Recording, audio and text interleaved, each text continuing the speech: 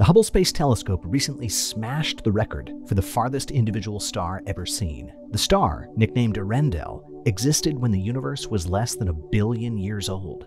Its light has taken 12.9 billion years to reach Earth.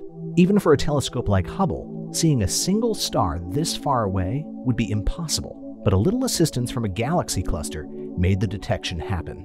The light we see from Earendel and its home galaxy is bent and warped by the gravity of a massive cluster of galaxies between us and the star, allowing the light to be magnified and amplified about a thousand times.